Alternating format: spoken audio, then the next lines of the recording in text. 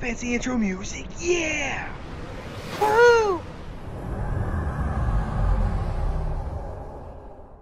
Who asked for this? Who asked for a miner? This isn't the Enterprise D! What the heck is this? Well, actually, it's a really good improvement to the game and to the game's economy situation and your research. And I feel like when the Meridian came out, there's a little bit of a, oh, it's a miner.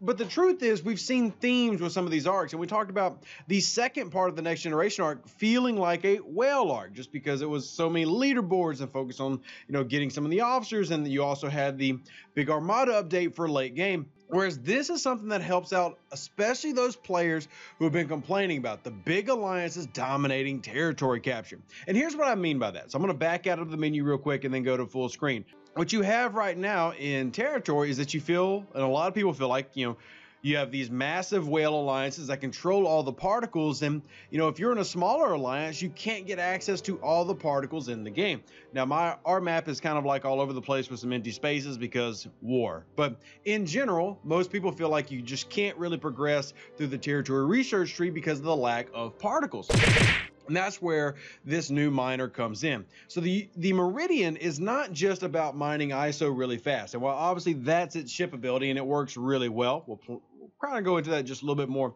towards the end.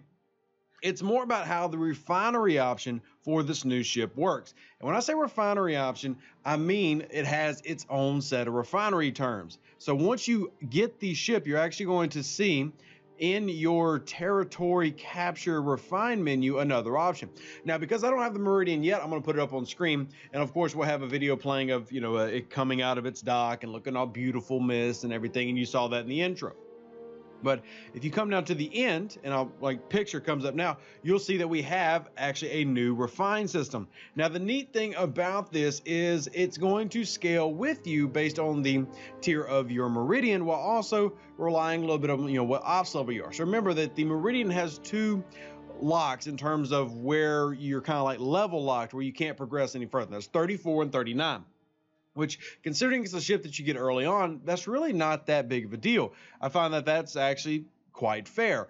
I think when you look at how it scales up and how it operates, and I know a lot of people have complained like, well, it has no protected cargo. We'll, we'll look at that here in just a second. I think that overall, what you're seeing is it being a pro positive for the average player. This is literally a ship that has returned to the format of you can get it entirely in the battle pass for free. Now, a lot of people have, you know, kind of questioned how do you get it? And just in case you haven't looked, let's take a look at the battle pass. You should have got the first set yesterday. If you completed your battle pass milestone, then you get to battle pass milestone 8, you'll get another set. Then you get to Battle Pass milestone 14. And then finally, at 20, you'll get all 100 shards now of the battle pass will pay out that meridian. So you'll have the ship by the end of the month. If you pay the $50 now, you can have it early, or you can wait and get it absolutely for free and then start its grind. Now, a couple things that come into this is it's not just about the ship.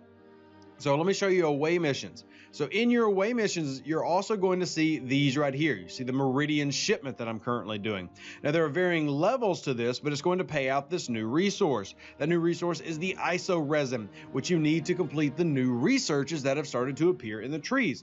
So not only are we getting more of a uh, you know a better avenue for obtaining particles. And we'll start putting some of those on the screen because you know depending on what level you are you know you're you're getting another set of particles every day. And, but if you're a player who didn't have access to this at all then say you could do a three chest pull for the particles at tier 3 that's giving you 18 of each type at one time. And while that's not as much as if you own the territory and could get 100 per pull a day for a small alliance that's trying to get into the territory game and get access to this research, this now doesn't mean that you have to hop alliances. And, you know, it's giving more reason for you to be with your group and focus on the actual buffs of a, you know, uh, individual territory than simply relying on those territories for particle capture, which is my entire strategy.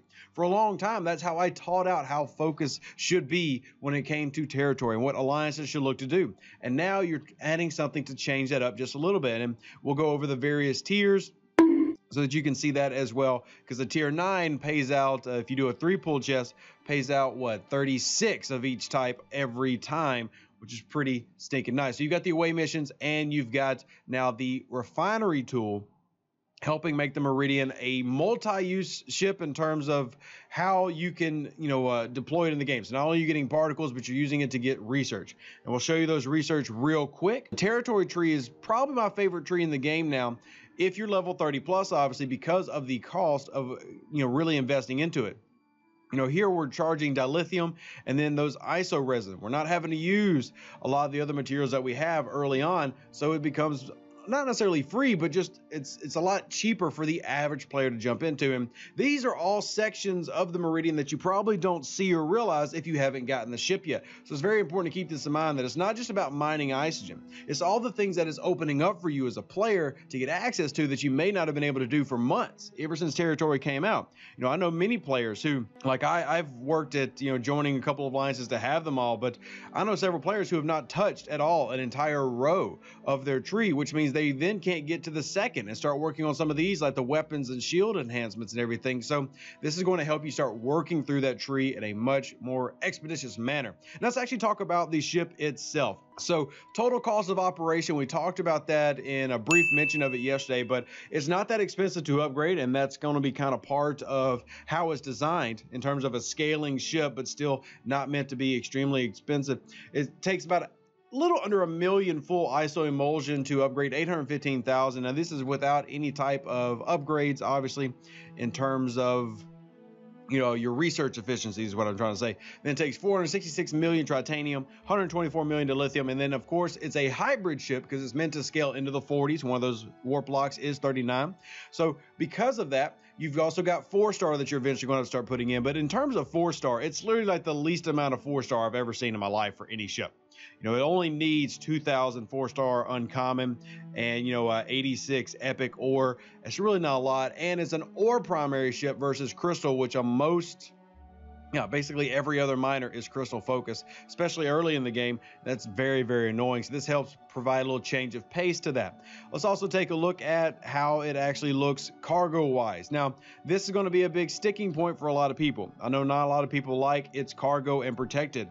However, it's essentially built similar to that. Like this is why I called it that that merge between you know a D'Vor and Horizon, simply, or you could even say a, North Star and a Horizon, simply based on this. But you got the fast mining speed, so you can get up to a 4,000 or 4.2k bonus with the Isogen mining special ability. So that's going to help you mine extremely quickly. You're you're looking at this thing at a max level.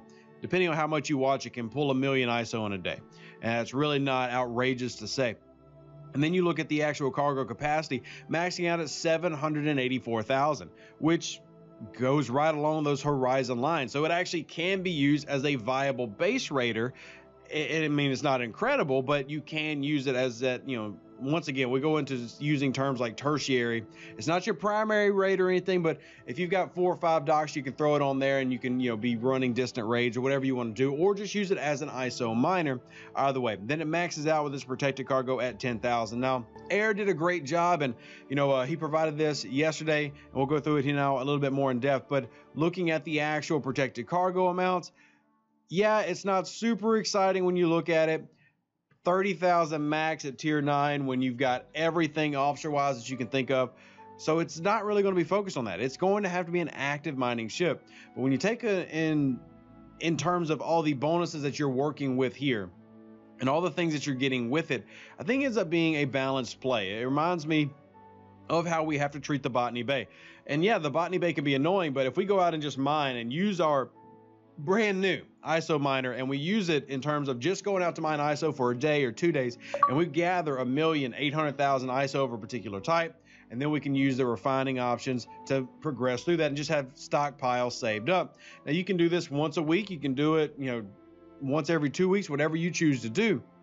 But it is going to be something that is viable to use as an everyday item that improves your gameplay overall, especially with this background stuff, with the research, and the territory particles. Basically, you now have access with this ship no matter where you are, even if you have no access to territories, you now have access to now grind through the entire territories tree, albeit slower than if you had the territories, but still a great improvement for the average player in the game. If you have any questions about the ship, please drop them down in the comment section below. As always, you try to keep these semi, I wouldn't say condensed, but try to keep the information relevant and shortened.